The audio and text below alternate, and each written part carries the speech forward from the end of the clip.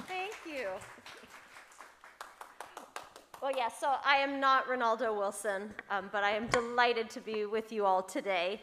And I'm more delighted to be able to facilitate a panel with three amazing colleagues. So if I can call up Dr. Feng, Dr. Cagigas, and Dr. Gamata, that would be wonderful. Uh, we have three um, neuropsychologists who are going to be dialoguing with me around how we communicate effectively uh, with diverse communities around brain health and early detection. And we've learned so much and have had such insightful perspectives during the conference today. Um, but what we really need to be thinking about is how to bridge this to our communities of color. And hopefully, we will gain a lot of insights and some concrete tips and tricks and effective communication strategies. So, I think our panelists come up. So, as I said, we've um, had so many rich and insightful presentations and panels today on early detection.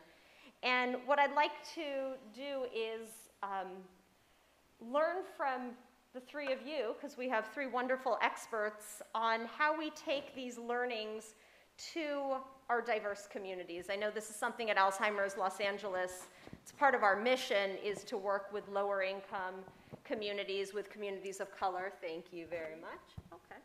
Um, and so I want to start off by asking, why are conversations around brain health and early detection so important particularly with communities of color.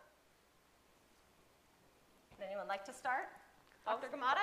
I'll start us off. Um, I think it'll be a rich conversation for all of us um, um, in talking about you know early detection and health um, and why the importance in diverse communities. I think we heard from an amazing panel earlier and just the barriers that everyone navigates, right? And when we talk about diverse communities, it's all of us. We're all diverse. Um, and there are um, the work of diversity is, is more challenging and more difficult than we give it credit for uh, most of the time. And um, we, we have to reorient the conversation to um, uh, what you know what what what is the importance of diversity and why diversity right and and moving that beyond the moral um, argument of it's the right thing to do, but rather that it's the real scientific rigor. If you include everyone, what you find is the truth. If you don't include everyone, what you find is bias. Um, and clinically, that you are serving everyone in the population. Um, and so I think um, the focus, I think, for our panel in focusing on communities that have disadvantages and so forth is, is really important because um, we live in a system, we live in a society, and what puts folks at risk are those societal disadvantages. And um, we can also call those traumas, right? As, as clinicians, we call those traumas. And um, as we focus on the concentration of who has more of those social disadvantages, um, they're concentrated differently in different populations. So while we all have traumas, right, as humans and on planet Earth, um, we, the, the concentration of that trauma is different in different demographic groups. And so um, our attention to who is at more risk for certain disease populations and so forth um, centers that um, in, in, when, we, when we're talking about um, uh, the, the general population.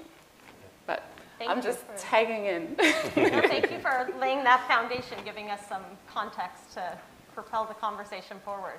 Dr. Cagigas? I would add that, you know, the onus really is on us as providers. Um, you know, I, I, I'm from UCLA. I apologize for not, uh, for not being accessible.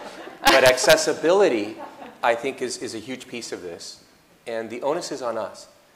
You know, people always expect, uh, I, I work predominantly with the Latino, Latina, Latinx uh, population.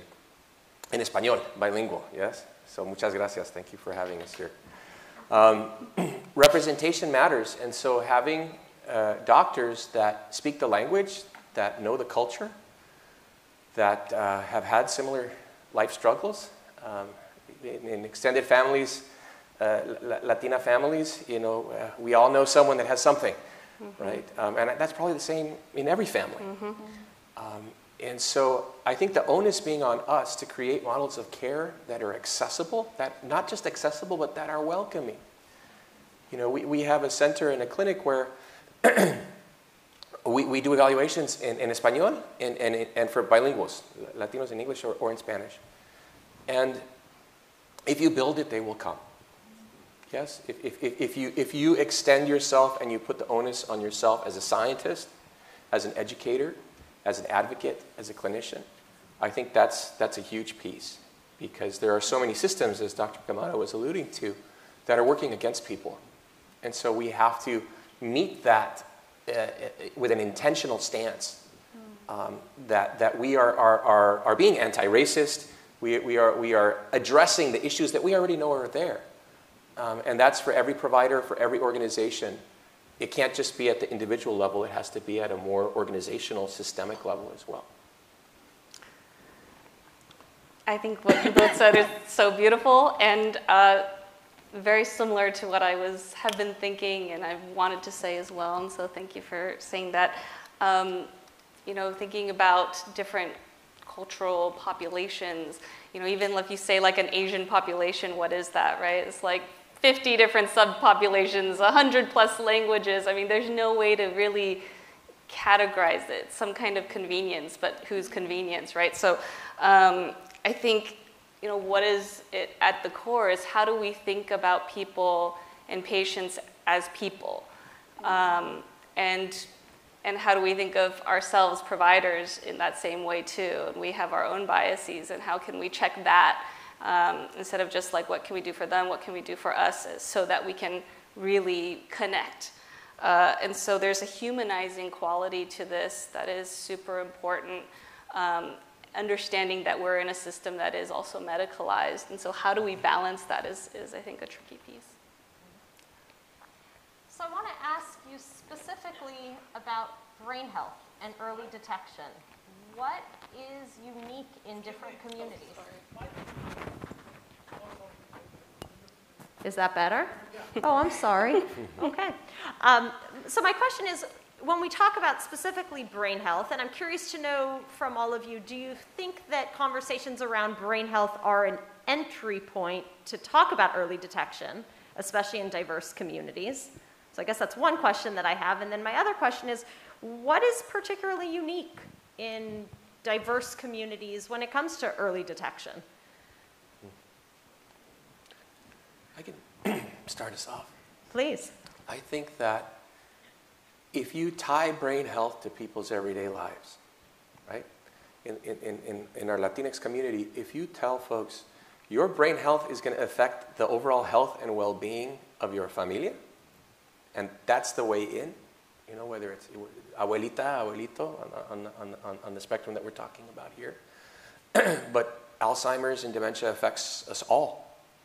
And so if we show the relevance and the connection, I think the rest comes naturally. people will be invested and people will want to, to, to, to know more. Um, as I said before, the onus is on us to make this dialogue, this discourse accessible and to connect it to people's everyday experience.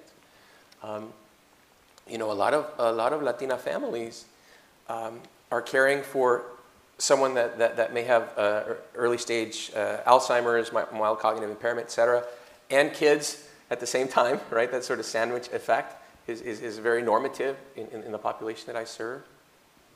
And so I think breaking the ice and starting the conversation and just making sure that there is a, a sense of the relevance once that connection is made, people will not leave you. They will, they'll want, well, what can I do? What can we eat? What do we have to do? What, you know, it, it will all change. It'll open up. It'll open up. Mm. What a powerful community asset, right? Being part of the family unit and right being able to leverage that as an asset because we talk a lot when we talk about communities of color and Alzheimer's, we talk about a lot of barriers but it's nice to be thinking about some of the assets that our different communities have and how we can harness those. If, if we empower, I would say Latinas, Latinas, they're the ones that do all the work. Yes, I, I'm the first one to say, and, and mucho respeto, much respect.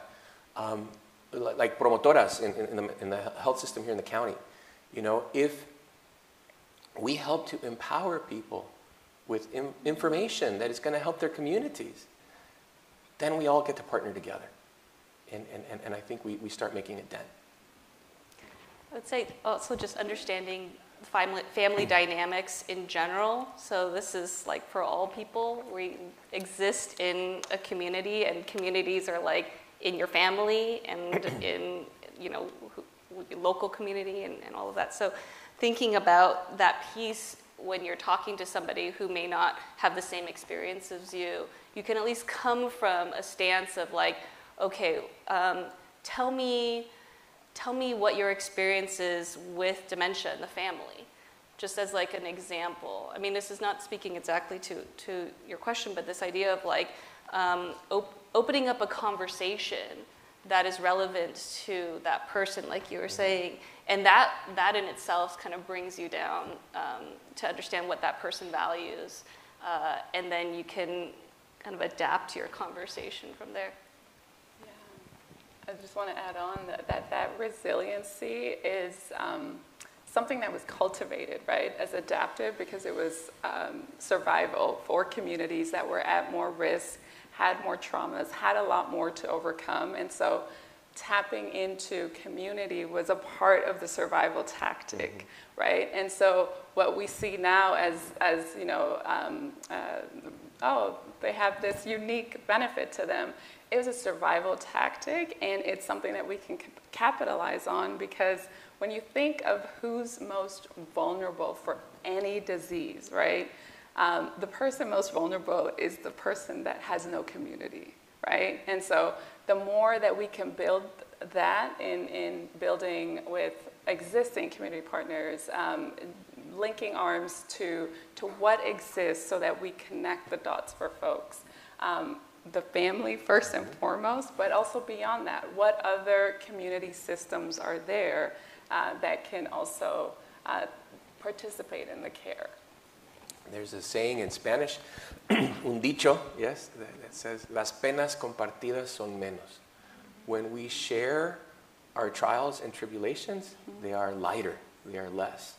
And so that, as, as Dr. Guevara was saying, is, is ingrained in, in a lot of our cultures, the sharing.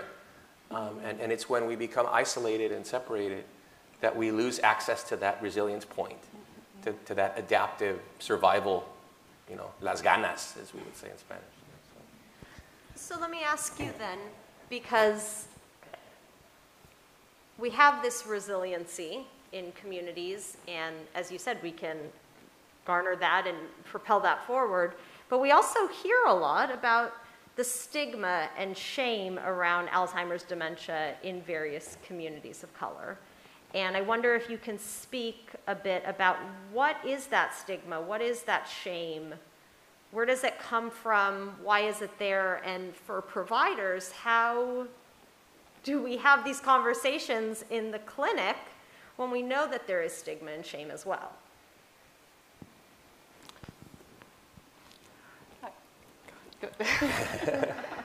it's Dr. Feng? Yeah, sort of a, a, a tricky one. Um, you know, of course, there is stigma in mental health stigma, like, and, and, with Alzheimer's and dementia, the stigma is, is really difficult because um, being labeled in general is, is so hard, especially when there's no cure. And we're, you know, like, uh, we're listening um, to the primary care uh, assessment and how great it is to have these questions, and also knowing that so many people don't answer yes for years and years and years, even though they may know um, but why aren't they answering yes? Uh, it may be a knowledge thing, not, not aware. It also may be like, what are you going to do with this information?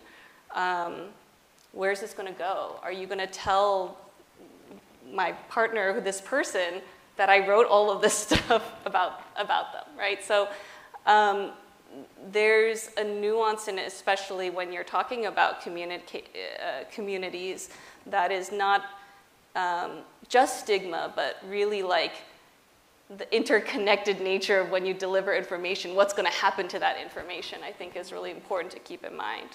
So I'll, maybe I'll yeah. start it off from that. Absolutely, absolutely. Um, the, the stigma is for everyone, right? And then in certain populations, there is uh, just what uh, Dr. Feng was saying. Um, where is this information going? Because with health disparities, we have to come back to the foundation of health disparities is, you know, medical abuse as well, right? So um, where is this going? Where is this tying into? Because these all link, right? And, and for us, our work is to tap into what the history is because the history comes into the room. Uh, the history, uh, we can't do diversity work without bringing in the arc of the history of um, what, what has happened, right? It's, it's like doing a medical workup without doing a good, thorough interview. So our, our work in really building that trust, and, and that falls on us and not on our patients, um, to really um, share the details of why you ask what you ask and not just asking the questions. I think we have to get better at asking good questions as well.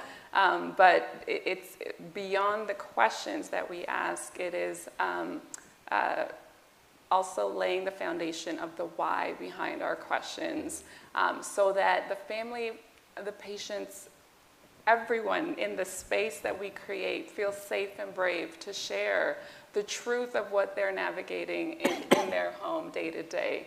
Um, you know, the unfortunately, there is medical brutality that the communities face, right? And so just knowing that and when you when they walk into the room that you want to set a foundation of like i know this history and i want to create a space for you um, that is centered in your belonging in your care. Um, and, and cultivating that is artwork. It is creative work. It's beyond the, the checklist. It's beyond the efficiency that the system forces right? And so it, it, it's, it's, um, it, it's some of the most creative work that we do is cultivating that belonging, um, that safety, and that authenticity in, your, in the care that we, we give to our patients. Well said. I think, um, yeah, very well said. the, the construct of stigma is one that really fascinates me. Because when we think of stigma, most people think of it as residing within an individual or within a community. Mm. Oh, this is something that exists within a minoritized community. And even the term minoritized shows you is from the outside going in. So I think it's less about stigma inside the person and more about how we stigmatize. Right? And so we have to be the ones to, the onus is on us to meet people where they are and to create that safe brave space where people can speak up um, and feel comfortable and normalize the, the, the, the, dialogue and the conversation that needs to happen. Because otherwise, when we talk about stigma in, in communities of color or minoritized communities, we're, we're blaming them when we're creating a, a, an us and a them, we're othering. Um, and it's, it's, it's, it doesn't reside within. It's something that is done. It is stigmatizing. So we have to be anti-stigmatizing. Yes. One thing, I'll give just a very brief example. Uh, Alzheimer's disease, uh, common symptom anosognosia, right? The person doesn't know what's the, the, that they're losing the, the memory um, or, or, that they're developing certain symptoms. So, how do you talk about that in the presence of a patient? With our Latino patients, I, I, use la araña. Yes, an araña is a spider. And I say, imagine that I have a spider on my back. Um, and you say, Doctor, you've got a spider on your back. And I turn and I say, Where? You know, where? Oh, it's crawling up your neck. Where? I can't see it. Right? Um, I say to people, there will be some things that you yourself won't be able to see. But there will be some things that we cannot see unless you talk about them, unless you bring them out. And so let's just accept that there may be differences of opinion and you may say, see different things. Your, your loved ones may see things that you don't see, like that spider on the back of my neck. But there may also be things inside of you that we won't really learn about unless you open up and talk about it. And so the power, I think what I'm trying to say is the power of metaphor and storytelling, mm-hmm. the cuento and, and, and dicho in Spanish, is incredibly powerful in breaking down stigmatizing encounters clinically. I love that example. I'll just piggyback off it. I, I feel like using this and knowing your, knowing your patients well enough to know what bit, uh, what bit is going to resonate with them. Um, that is a real skill, but I think you know we all have that skill, and so it, it doesn't take hours and hours. Sometimes when you know that person, and of course there's a consistency there, they come back. It's those like two things you go back to, and um, and it allows it gives people permission to be able to share something, um, and allows that care partner also to potentially mm-hmm. say something to say, well, your partner, you know, may say things or may be able to, but that's it's all in the best interest of, mm-hmm. of sharing. Yeah. Mm-hmm. Definitely sounds, sounds like part of what we're talking about is that relationship building, right? And being able to connect with people, understand them, and give them that space to do so. How do you reconcile that as providers with your, you know, the cognitive health assessment should take you about five minutes to complete? Um, doesn't seem like a lot of time and a lot of space to encourage those opportunities for bravery and, and discourse and dialogue. So, how do you balance that? I think that there are certain um, clinical heuristics that you can, you can use. You know, I, I, I- hold my patients' hands. I hold their hand because I want them to lead me towards certain things, and I want to be able to lead them towards certain things, and I want to establish that connection. As, as Latino, I, I was raised in, they pinching my cheeks and touching, abrazos, very demonstrative, right, within the culture. And there's variability in every culture with regard to that. But what I'm getting at is sometimes it's just it's that little uh, cultural door or know-how of knowing how to open it. You know, I, I use dichos uh, uh, all of the time, sayings. You know, no hay mal que por bien no venga. There's no uh, bad that doesn't come about for a greater good. We're going to get through this together. Okay? That little touchstone with the culture will put a person at ease. I use humor, right? I talk about la, la secuela. La secuela. And people say, secuela? Like, like sequelae? No, secuela. Secuela juventud. That youth, youth left us, right? That's what we're here to talk about, right? These are the things that come, you know. And oh, people laugh and, and, and you build a rapport. Basic clinical Resonates. skills. Building rapport and a sense of we are shoulder to shoulder, facing this together. Um, I am with you. You are not alone. These are all things that every patient wants to hear. Uh, But we don't do enough of that because we feel uncomfortable. That's why the onus is on us. These are difficult conversations. Yeah, absolutely. Um, I, I will say, as a neuropsychologist, we're very privileged in the amount of time that we can have with patients. So it, it's a very different world in that sense. Um, and we even have conversations before they come to see us. So there's a little bit of a, you have this appointment. I just want to orient you on what this appointment is going to take. And so a lot of the things that were coming up that Greg was sharing um, uh, and um, that Sandy was sharing, that Dave was sharing, of just like the disorienting piece of like walking in and, and being just asked all these questions not, and then having all these uh, follow ups and so forth. Um, we don't have that, but th- that's a, as a specialty in neuropsychology, right? Um, and so, for those that do have that limited amount of time, some things that I, I've heard have been beneficial and helpful is um, the person that the point of contact before, whether that's the administrator, um, admin staff, and so forth, that that person gives a little bit more of an orientation of what that workup day might look like. And so that's just at the level of orientation, right? So I think we're always nervous going into any appointment, doctor or not. Any appointment is, is like, what's going to happen? So just at the orientation piece, having someone orient you ahead of time, the day, day before the appointment, just helps alleviate some of the anxiety about the, the process and, and what all is going to happen. Should I fast? I, like we do brain health work, but we have patients that think they're going to have blood work done. So that I didn't eat or take my medication. I'm like, whoa, whoa, whoa, let's do that before we start anything, um, because they're that's what they're used to when they go to doctor's appointments.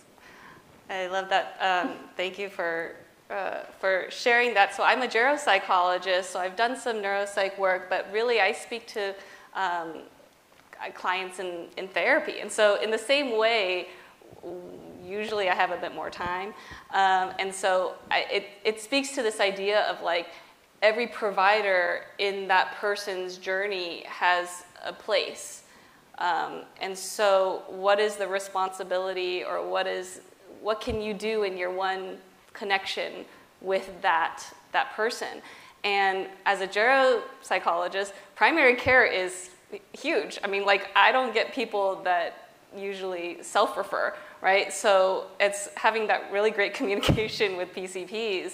And, um, and so, just like that initial rapport building, because a lot of people, when they have that great relationship, they trust their PCP so much.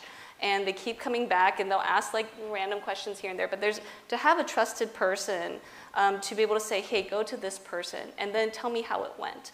Um, or uh, that person's going to connect with me. I mean, this is a whole interoperability thing that is another conversation, but um, there's, there's a time and place for these different pieces. So, even practically, you know, without that time, there are also times where um, patients are sitting in the waiting room.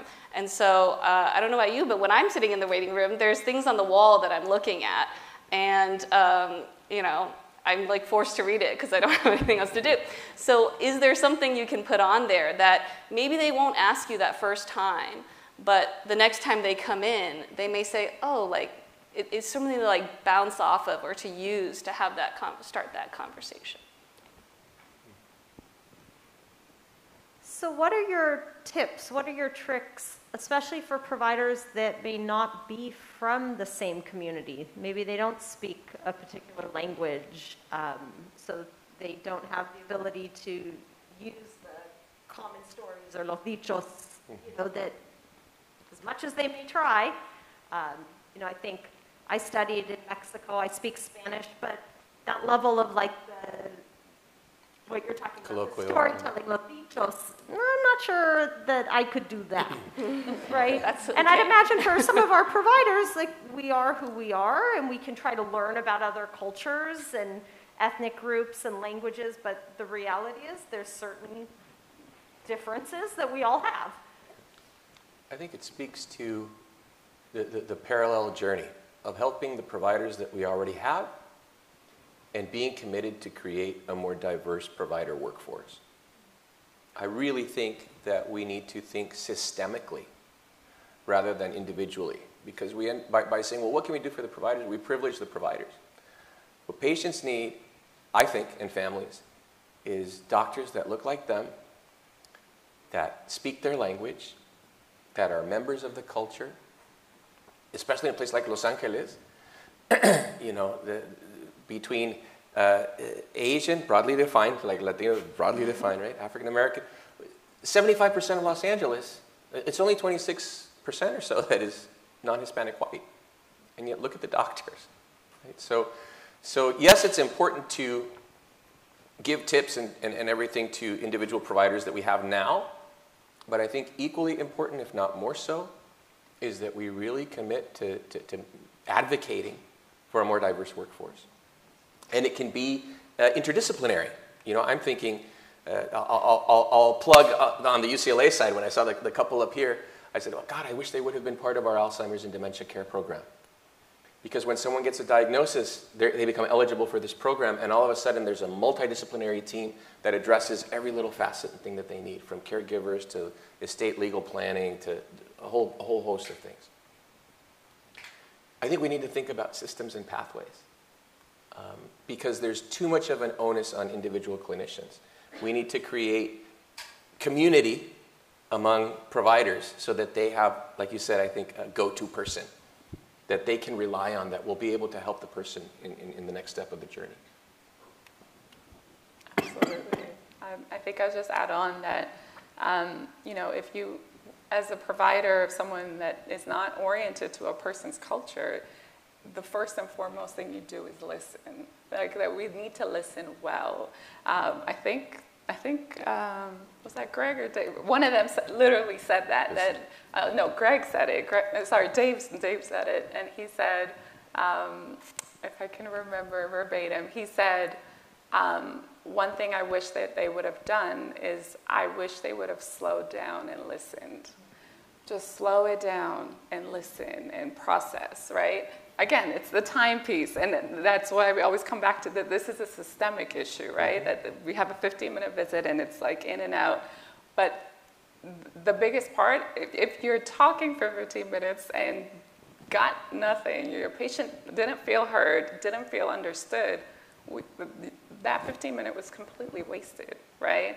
And so if it's that you spend 12 minutes listening and you got three minutes to sum it all up and, and, and, and, and um, wrap up the clinical visit, at least some, you heard something. You can follow up on certain points at the next visit, um, but that there was some takeaway rather than this um, rushed but no, um, no result piece. So it's like walking into systems of checkboxes doesn't allow for any relationship building. And so um, if we can allocate more of that time to the relationship building, um, w- we can get to the checkboxes because then you can actually do all the checkbox thingies outside of the clinic, outside of the 15 time and minutes. place, yeah And have it be meaningful. right, right. And did I hear you correctly? That's one thing I always, um, you know, language is really, really important to me in your clinical care. So um, I'm just going to rephrase what I think I heard you say. Does that land correct for you, or did I get that completely wrong? Um, and of course, creating that safe and brave space is, I, I want them to feel brave enough to say, no, no, actually, doc, you got that wrong. That's not what I said. Um, but like, if you don't do that, bounce back, um, you, you can have them completely wrong in the chart because of a cultural misunderstanding um, at the foundation of the visit.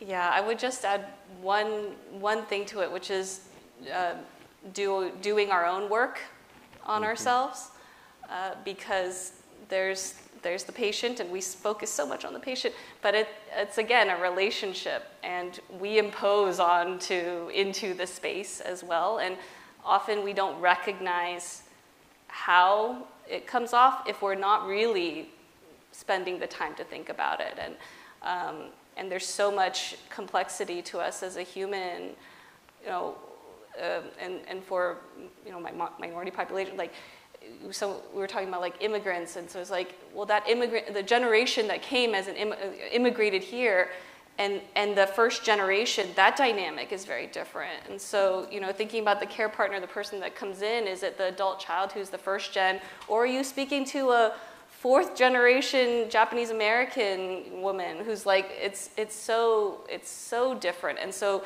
you know it's very complex and it's hard to get in a small amount of time.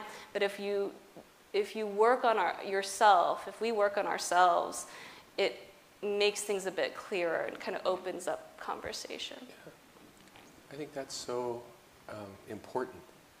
The, the, the looking at yourself and making a commitment to say, I'm going to learn something about the population that I'm serving. Right? If you're in Los Angeles and, and you don't know very much about Mexican culture specifically, um, I would say you're probably somewhat negligent as a provider, just by the numbers.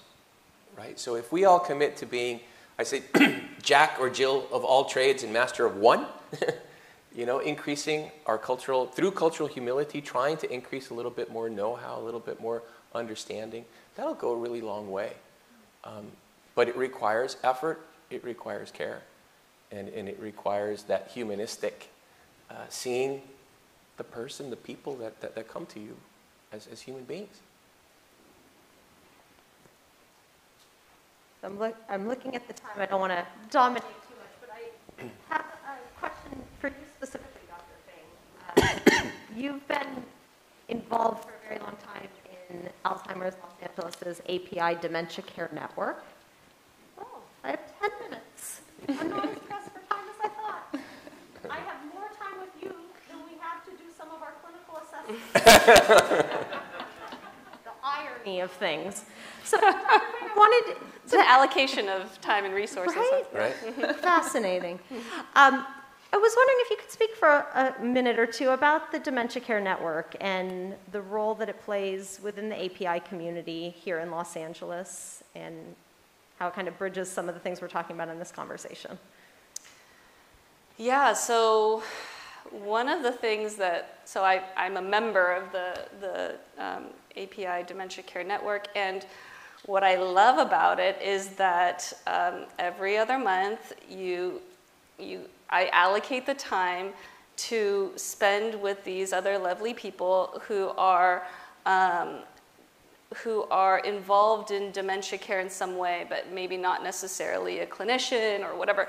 And um, just getting together, uh, you learn so much. Just like people are talking about something else, like what was your favorite movie or something like that, and what was a favorite book, and just allowing for space. Um, I've learned a lot of uh, a lot about like the resources, even things like clinical trials, um, uh, all this information that um, I would have to seek out, and everybody's really busy, and so it's just like, okay, well, let me just like allocate this time, so I know I'm going to learn a lot of good stuff, um, and that then translates to my clients or to people I'm talking to, or when I go to skilled nursing facilities, and I'm just like, you know, there's a lot of word of mouth, and, and this is its own kind of community in some ways, and so it transfers that way. Uh, in addition to like actual like clinical resources that I'm referring somebody to, so I'll speak.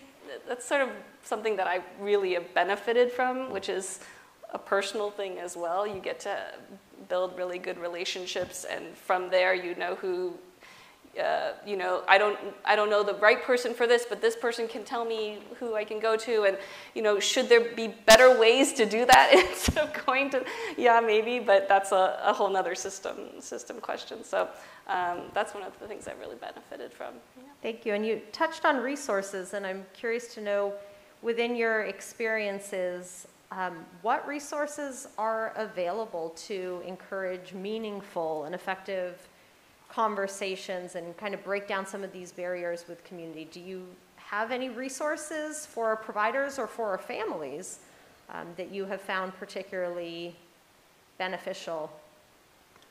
For providers, I'm a fan of pointing towards to, pointing people to Ethnomed, um, which is a website that gives brief histories of, of, of different uh, cultural groups throughout the world. Um, you know, our, our own ignorance as providers, I think, is a, is a scary thing. Uh, when we're trying to meet people at their most vulnerable and render evidence-based, like, care that actually helps and doesn't harm. Um, that's, that's a simple one, just, just, to, just to, get to get to begin to know. Uh, uh, at least, for example, if you have a patient from El Salvador, you need to know about uh, the violence in El Salvador during certain generations that were exposed and others that weren't exposed as much. Um, if you don't know that going in to, a, to, a, to an assessment where someone has memory problems, that's, you know, PTSD, flashback, all, that stuff, you know, very, very important. Um, so I think resources that way. There's a cultural navigator, I think, also an app that, that, that is similar to Ethnomed that is, that, that is a, a, good starting point for providers. I, I, I, I'm always a little bit reticent because I don't want people to think, oh, if I use that, then I'm, I'm good to go. but that's, that's, that's a good starting point. Um, resources just generally. Um, so I'm part of the Dementia Care Network with Petra Niles as well with Alzheimer's LA and um, just the, the resources that exist within communities, very small nonprofits that really do the boots on the ground work that um, a lot of the, the bigger, larger organizations don't really tap into that work um, of just like the very basic needs. Like I had a, a caregiver recently who um, had had hip surgery and needed a commode, and insurance was giving her all types of hell. And calls me and I need a commode. Do you know anyone who's got a commode? I'm like, actually I do. and I was able to call one of the community providers like, hey, last time I was there, I, I did see a room full of commodes. You still got some? um, and like we were able to get that to her within 24 hours. Um, but that's, that's like the work of that, um, knowing where the community is, knowing where the resources are, and that these are things that were cultivated, right? Boots on the ground. These were all donations, um, people that had had use for it one point that didn't need it no more, that donated it to a particular um, organization. Um, and so just linking to um, what exists at the community level, because I think uh, the larger um, foundations, organizations do really, really good work um, at, the, at the research and, and policy level, but we, we need more hands-on, tangible things that caregivers are always in need for. Um, and those exist in very small tiny nonprofits and organizations, and we need more of a link and a bridge between the larger organizations mm-hmm. and those tiny, you know, mom and pops kind of spaces where they, they, they, they, they saw a need and just said, you know what, I'm doing this. I'm, I'm based off of the experience I had, I am building this. Um, and that's where most of them started off, and they really meet the needs of community in ways that um, others have not tapped into. Um, and, and that the resources haven't gone into. So um, I've been really lucky to have found those systems through uh, Petra Niles of Alzheimer's LA, who, who's really, you know, she's been doing this work for years um, and has and has really um, the, the network that, that she's cultivated um, in, in, in the in the community of oh, you know what, you need to call this person for this issue, you need to call this person for, like, that, that's like a resource you can't put a price tag on. Absolutely. It's like we can't all be everything. Right. So, how can we know the people and the systems for the right time and place for that person? Because we all know about data dump and information overload, and there's so much out there. I mean, it's not a, a lack of information in a lot of ways, right? But it's how can you get that information right to that person, give them what to expect here so that there's, there's hope and there's productivity and makes sense um, and move them along. And when you're talking about you know, community resources and who has this and that, there's like a really positive benefit to those conversations even the, the belongingness, the feeling that you're not alone in this. Mm-hmm. Um, and so it's not just the resource, it's not just the commode, it's the connection with those people as you're building, as you're going through all of this. We talked about empowering people earlier, right?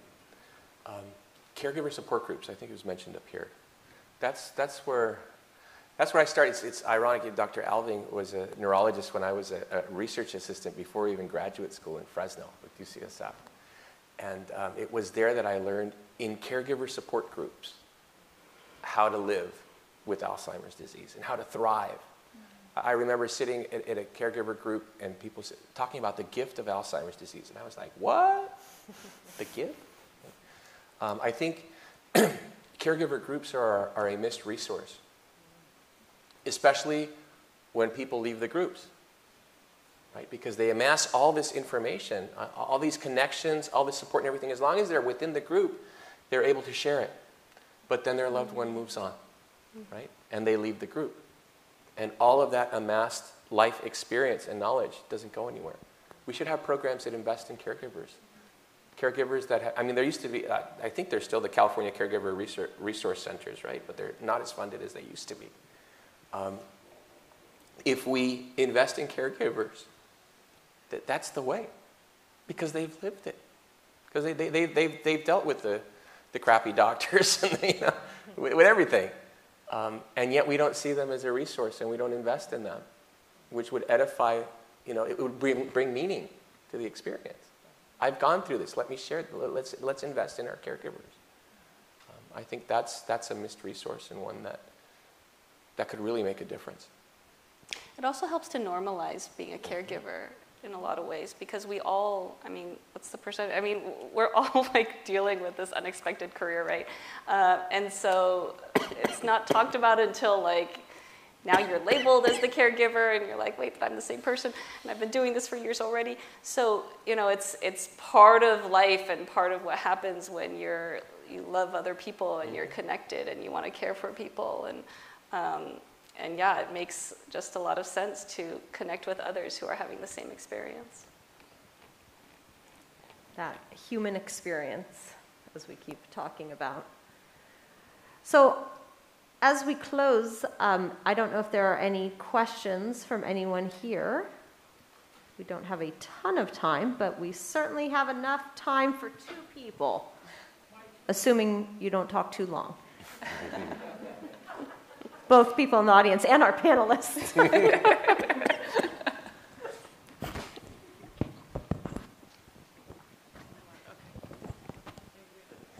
Thank you for, where do I put this? Okay, thank you for letting me ask a question. Um, one thing that was occurring to me as you were talking about um, really understanding your, you know, your patient's background. I'm really fortunate to actually work with a neuropsychologist who always gives the historical context.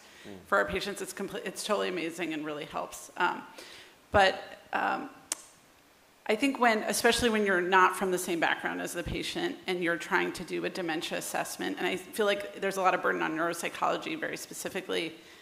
Um, and we're, we're trying to reduce the stigmatizing way we're doing it and the way we're um, I, I, actually think sometimes we actually, it is a threatening, just inherently threatening assessment, and that people are very aware that it actually is going to take away independence. Mm-hmm.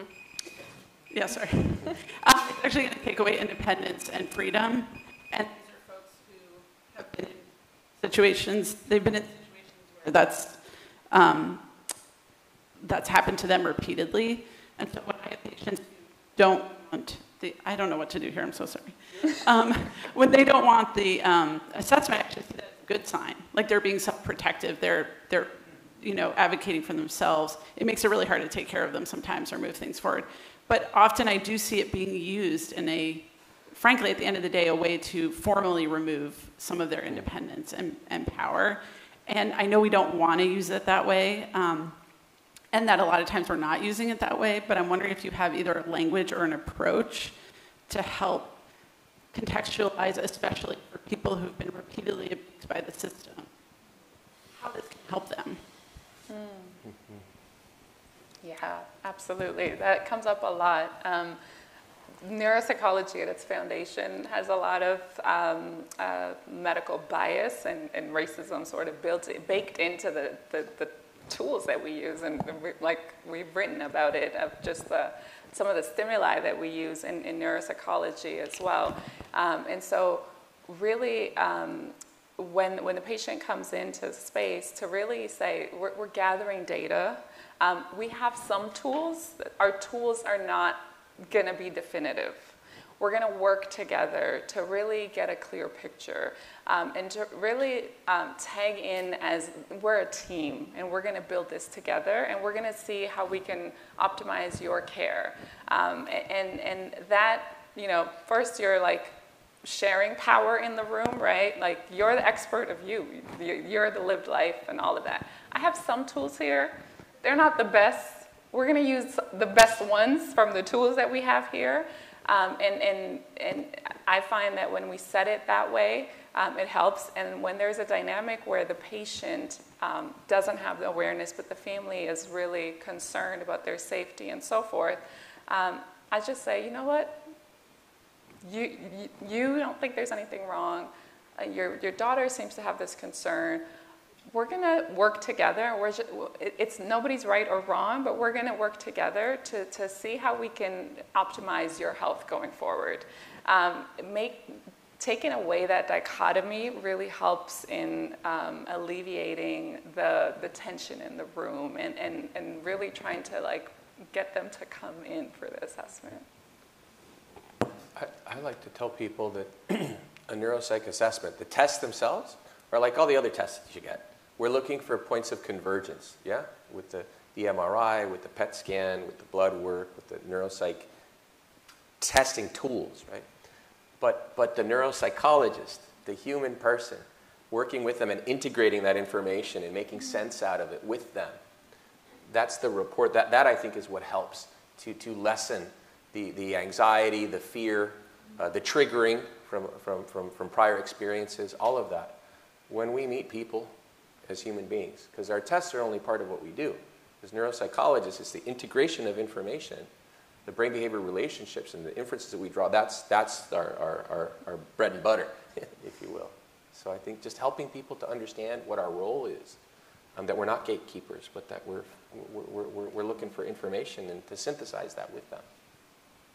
Even having a short conversation with the neuropsychologist you're working with um, can give you that information, and so that information can be repeated, and so there, there's a feeling of connection and like, okay, th- I can expect this. I went here. Oh, that's what happened, and then you learn from that. So just those short conversations with other um, providers, I think, helps a lot. Okay, if I can have you join me in thanking our panelists for such a rich conversation.